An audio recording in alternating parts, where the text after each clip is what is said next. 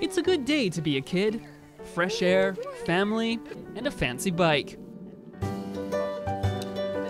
Danielle Sandgren is the proud owner of a Hase recumbent tricycle, a trike that has helped improve her life.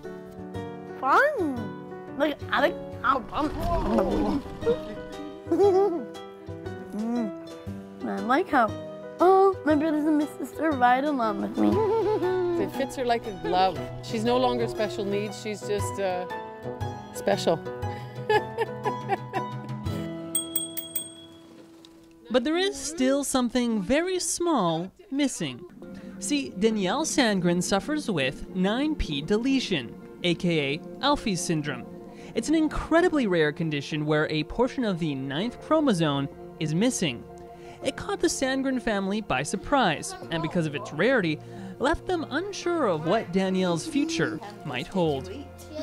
Well, we didn't know anything. We just thought we were having a, a regular baby, and uh, when she came out right away, we knew something was different. It took a couple weeks, but Children's uh, did some genetic work and found that she had 9p deletion.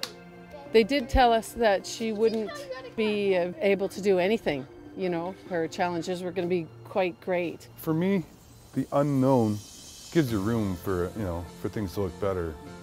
If you know, like, what's going to happen, you know, it's worse, I think. So, yeah, not knowing what's going to happen could all turn out fine, right? And basically, it did. Yeah. It still hasn't been a walk in the park, because for Danielle, walking is her biggest challenge. It's why she has this $7,000 tricycle, one that wouldn't have been possible without help from Variety.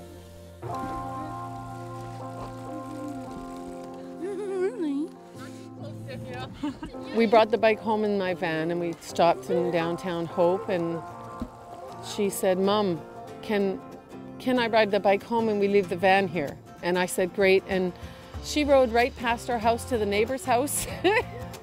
and she was smiling the whole way. And I was smiling the whole way, you know? I was going through him in the yard and I was like, whoa, really fast and excited. I want to ride him.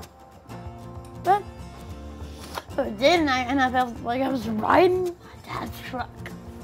It was a, uh, a mile marker, kind of. Uh, her progress just started to uh, go faster from that point.